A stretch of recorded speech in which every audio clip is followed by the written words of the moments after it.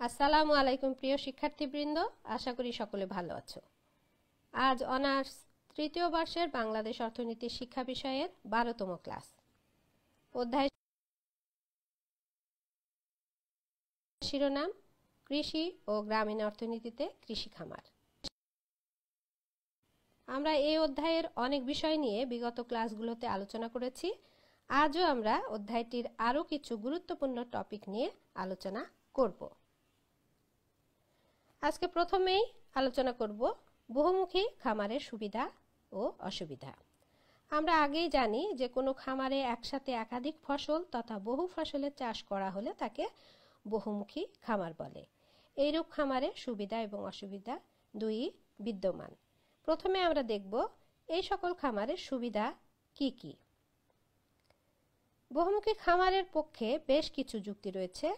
তাদের মধ্যে ভূমির উর্বরতা বৃদ্ধি, অর্থাৎ সারা বছর একই জমিতে একাধিক ফসলের চাষ করা হলে বহুমুখী খামারের অধীনে জমির উর্বরতা বৃদ্ধি পায়।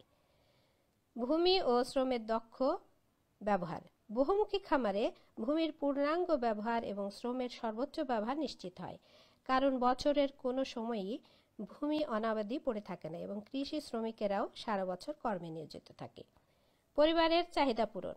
বহুমুখী খামার কৃষক পরিবারে বহুমুখী পণ্যের চাহিদা পূরণে সক্ষম। কারণ এ ধরনের খামারে একসাথে পরিবারের চাহিদা মোতাবেক ফসল উৎপাদন করা যায়।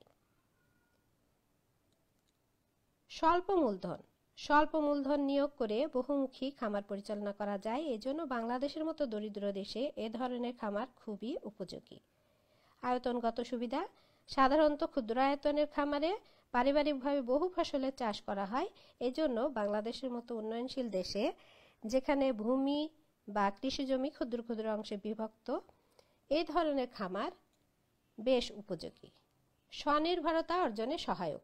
বহুমুখী খামার ব্যবস্থা একটি দেশের পরনির্ভরতা হ্রাস করে এবং স্বনির্ভরতা অর্জনে সহায়তা করে। কারণ প্রয়োজনীয় সকল পণ্য কম বেশি উৎপাদন করা হয় বলে কোনো বিশেষ ধরনের ফসলের জন্য বা পণ্যের জন্য বিদেশের উপর নির্ভর করতে হয় না।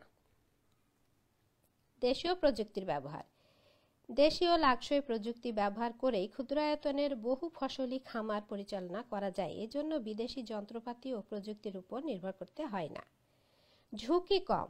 বহু ফসলি খামার তুলনামূলকভাবে কম ঝুঁকিপূর্ণ, কারণ কোনো কারণে এক জাতের ফসল নষ্ট হলে অন্য জাতের ফসলের সাথে ক্ষতি পুষিয়ে নেওয়া যায়।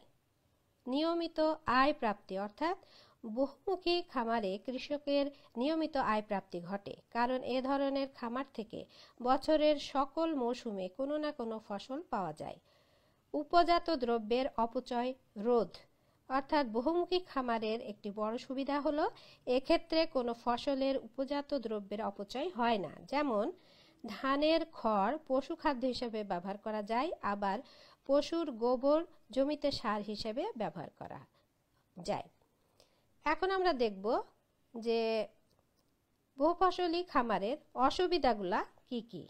প্রথমে আসি উপকরণ সংগ্রহের অসুবিধা। বহুফসলি খামারে বহুমুখী উপকরণ সংগ্রহ করতে হয়, এর ফলে উপকরণ সংগ্রহে সময় বেশি লাগে, শ্রম বেশি লাগে এবং সংগ্রহ ব্যয় বাড়ে কৃষকের দক্ষতা হ্রাস। অর্থাৎ বহু ফসল উৎপাদন করা হয় বলে কোনো বিশেষ ফসল উৎপাদনে কৃষকের দক্ষতা বৃদ্ধি পায় না। এর ফলে গড় উৎপাদনশীলতা হ্রাস পায়। উন্নত ধ্যান ধারণার অভাব। অর্থাৎ বহুমুখী খামার সাধারণত জীবন নির্বাহী হয়ে থাকে। পরিবারের ভরণ পোষণের জন্যই এ ধরনের খাবার, খামার পরিচালিত হয়।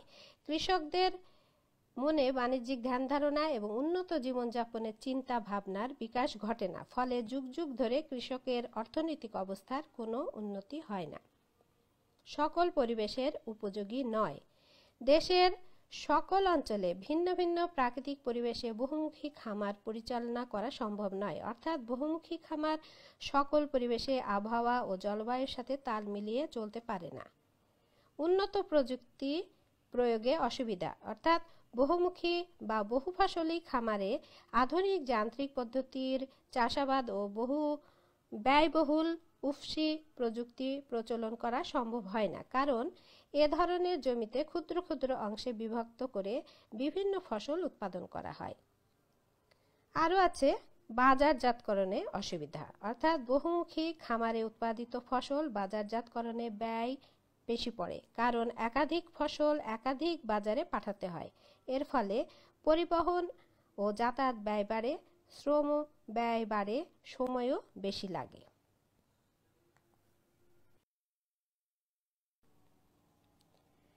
এখন আমরা আলোচনা করব বাংলাদেশে বিশেষায়িত খামার এবং বহুমুখী খামারের মধ্যে কোনটি বেশি উপযোগী?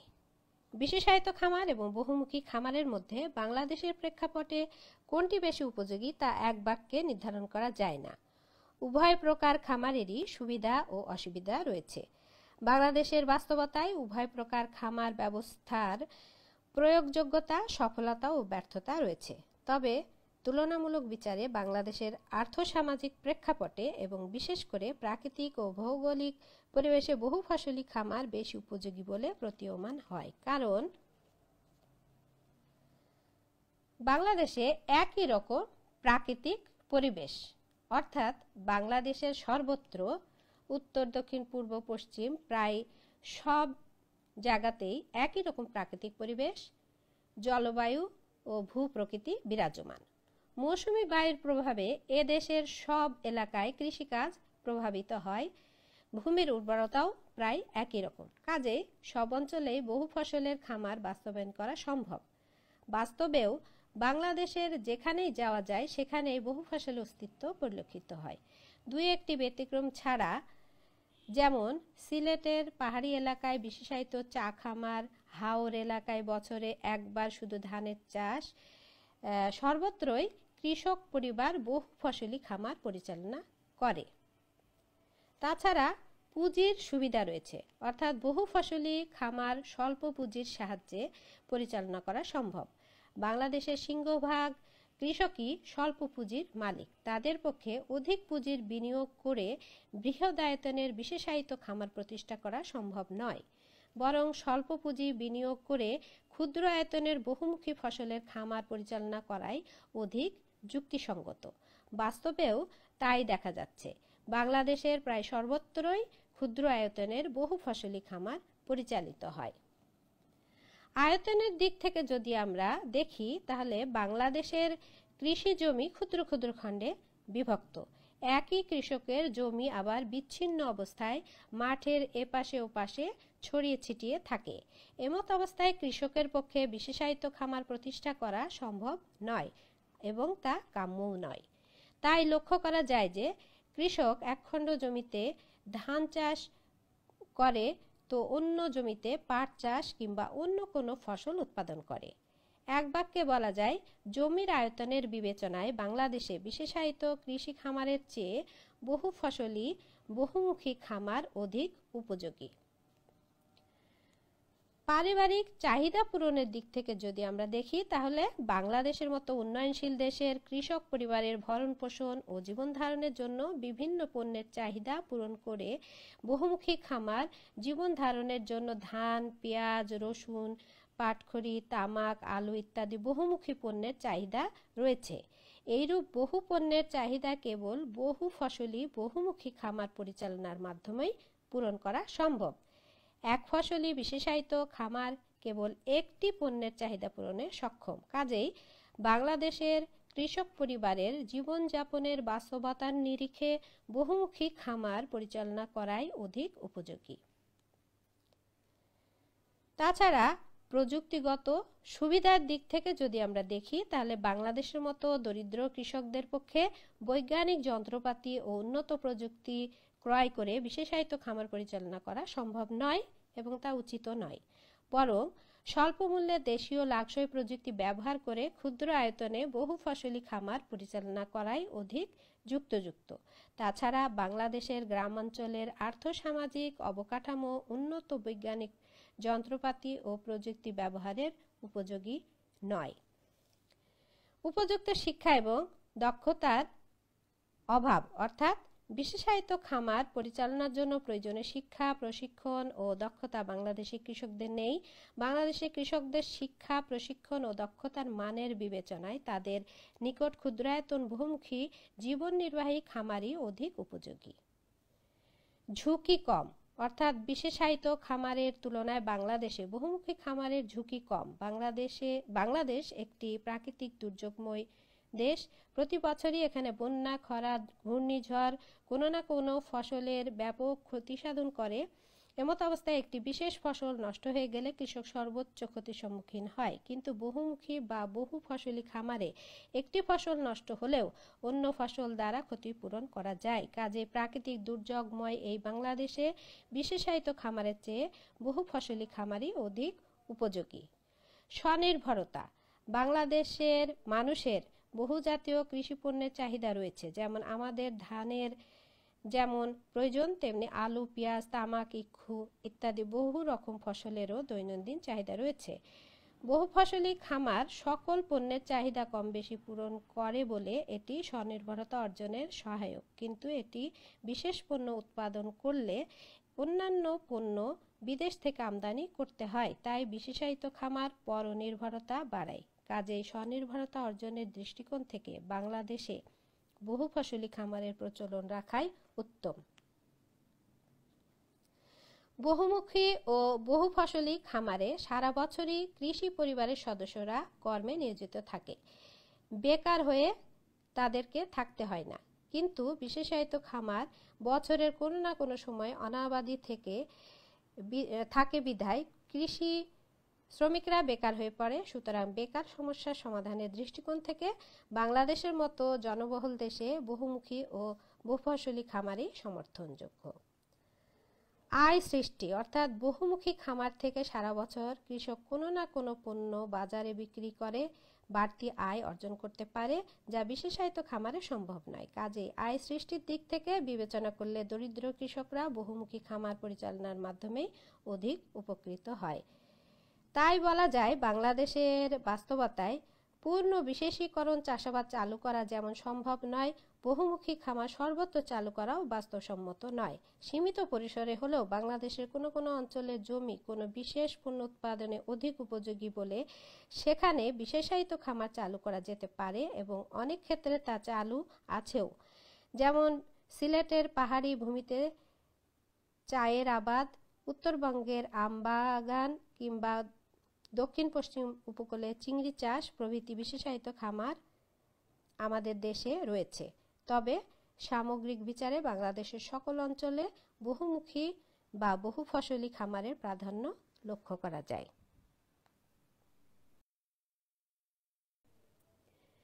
এখন আমরা আলোচনা করব চাষাবাদের ধরন বা প্রকারভেদ বা মালিকানা ভিত্তিক বিভিন্ন কৃষি খামার নিয়ে।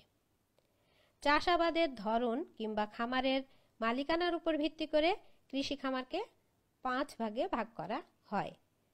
সেগুলো হচ্ছে ব্যক্তি মালিকানাধীন খামার, সমবায়ী খামার, যৌথ খামার, চুক্তিভিত্তিক চাষাবাদ বর্গা চাষ ভিত্তিক খামার। প্রথমে আমরা দেখব ব্যক্তি মালিকানাধীন খামার কি। যে খামারের মালিক ব্যক্তি বা পরিবার নিজেই চাষ কার্য পরিচালনা করে, তাকে ব্যক্তি মালিকানাধীন খামার বলা হয়। ব্যক্তি মালিকানাধীন খামারের কতগুলো বৈশিষ্ট্য রয়েছে? আর সেগুলো হচ্ছে, ব্যক্তি বা পরিবার উত্তরাধিকার বা ক্রয় সূত্রে নিজেই খামারের মালিক। ব্যক্তি নিজেই চাষাবাদ করে। উপকরণ সংগ্রহ, পরিচর্যা, ফসল কাটা থেকে যাবতীয় ব্যবস্থাপনা ব্যক্তি নিজেই তদারকি করে। সিদ্ধান্ত গ্রহণের ক্ষেত্রে ব্যক্তি সম্পূর্ণ স্বাধীন। ব্যক্তি ইচ্ছে করলে ক্রয় সূত্রে খামারের আয়তন বাড়াতে কিংবা বিক্রয় করে আয়তন কমাতে পারে। এখন দেখব সমবায় খামার বলতে আমরা কি বুঝি। কয়েকজন কৃষক একত্রিত হয়ে স্বেচ্ছায় সমবায় সমিতি গঠন করে চাষাবাদ তথা খামার পরিচালনা করলে তাকে সমবায় খামার বলা হয়। এ ধরনের চাষাবাদ ব্যবস্থায় জমির ওপর ব্যক্তি মালিকানা ঠিক থাকে, তবে অধিক উৎপাদনের লক্ষ্যে সকলে মিলে পুঁজি গঠন করে, উপকরণ সংগ্রহ ও ব্যবহার করে।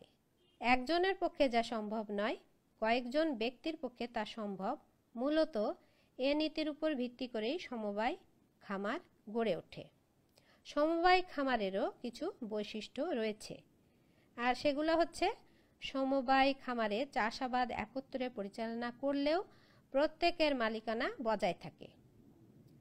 সকল সদস্য চাঁদা দিয়ে পুঁজি গঠন করেও উপকরণ সংগ্রহ করে। সকল সদস্যের জমি একত্র করে কিংবা আলাদা রেখেও চাষাবাদ সম্ভব। জমির ফসল প্রত্যেকে স্বাধীনভাবে ভোগ করে, তবে সমবায়ের মাধ্যমে বিক্রয়ের ব্যবস্থা করে। সকল সদস্যকে কতগুলো সাধারণ নিয়ম মেনে চলতে হয়, তবে কোনো সদস্য ইচ্ছে করলে সমবায় ত্যাগ করতে পারে। এখন আমরা দেখব যৌথ খামার কি। সকল কৃষকের জমি একত্র করে কেন্দ্রীয় সিদ্ধান্তে যৌথভাবে চাষাবাদের ব্যবস্থা করা হলে তাকে যৌথ খামার বা যৌথ চাষাবাদ ব্যবস্থা বলে। জমির ওপর ব্যক্তি মালিকানা বিলুপ্ত করে রাষ্ট্রীয় মালিকানায় এ ধরনের খামার পরিচালনা করা হয়। সমাজতান্ত্রিক দেশে এ ধরনের খামার ব্যবস্থা চালু আছে। যৌথ খামার ব্যবস্থার কিছু বৈশিষ্ট্য রয়েছে, সেগুলো হচ্ছে জমির ওপর ব্যক্তি মালিকানার পরিবর্তে সরকারি মালিকানা প্রতিষ্ঠিত হয়। অঞ্চলভিত্তিক সকল জমি একত্র করে বৃহদায়তন খামার প্রতিষ্ঠা করা হয়। সব কৃষক সরকার কর্তৃক প্রদত্ত দায়িত্ব পালন করে এবং ফসল যৌথভাবে ভোগ করে। প্রত্যেকে সামর্থ্য অনুসারে কাজ করে এবং প্রয়োজন অনুসারে ফসল ভোগ করে। উপকরণ ক্রয়, ভোগ, বন্টন ও বাজারজাতকরণ সহ সব পরিকল্পনা ও সিদ্ধান্ত সরকার কর্তৃক গৃহীত ও বাস্তবায়ন করা হয়। এখন আমরা দেখব যে চুক্তিভিত্তিক চাষাবাদ বলতে আমরা কি বুঝি। কৃষক জমি নিজে চাষ না করে নির্দিষ্ট পরিমাণ ফসলের বিনিময়ে অন্য কাউকে দিয়ে চাষাবাদের ব্যবস্থা করলে তাকে চুক্তিভিত্তিক চাষাবাদ ব্যবস্থা বলে। এ ব্যবস্থায় জমির মালিক খরচের একটি অংশ বহন করতে পারে, আবার নাও করতে পারে। এ ধরনের চাষাবাদের বড় সমস্যা হলো ফসল নষ্ট হয়ে গেলেও যিনি চাষ করবেন তাকে চুক্তি মাফিক নির্দিষ্ট পরিমাণ ফসল দিতেই হবে। বাংলাদেশে বহু এলাকায় এ ধরনের চাষাবাদ ব্যবস্থা চালু আছে। মূলত অনুপস্থিত ভূস্বামীরাই তাদের জমি চুক্তিভিত্তিক চাষের ব্যবস্থা করে থাকে। এখন আমরা দেখব যে বর্গা চাষ বলতে আমরা কি বুঝি। উৎপাদিত ফসল জমির মালিক এবং চাষির মধ্যে ভাগাভাগির চুক্তিতে চাষাবাদ পরিচালিত হলে তাকে বর্গা চাষ ব্যবস্থা বলা হয়। বাংলাদেশে এ ধরনের চাষাবাদের কাজ প্রচলিত রয়েছে। চাষাবাদের অধীনে উৎপাদিত ফসল দুভাগে বা তিন ভাগেও ভাগ হতে পারে। মালিক উপকরণ ব্যয় বহন করলে ফসলের অর্ধেক পাবেন, আবার উপকরণ ব্যয় বহন না করলে এক তৃতীয়াংশ ফসল পাবেন। এ ধরনের চুক্তি সাধারণত প্রচলিত আছে। মূলত চাকরিজীবী, ব্যবসায়ী ও প্রবাসী অনুপস্থিত ভূস্বামীগণ বর্গা চুক্তিতে চাষাবাদের ব্যবস্থা করে থাকেন। এ ধরনের চাষাবাদের বড় সমস্যা হল, চাষি সম্পূর্ণ ফসলের মালিক নয় বিধায় চাষাবাদে মনোযোগী হয় না। নিছক জীবন ধারণের জন্য অন্য কোনো পেশা না থাকলে গ্রামের ভূমিহীন কৃষকেরা বর্গা চাষে লিপ্ত হয়। বাংলাদেশে কৃষির অনুন্নতি তথা একর প্রতি ফলন কম হওয়ার এটি একটি বড় কারণ। প্রিয় শিক্ষার্থীবৃন্দ, আজ এই পর্যন্তই। সকলকে ধন্যবাদ।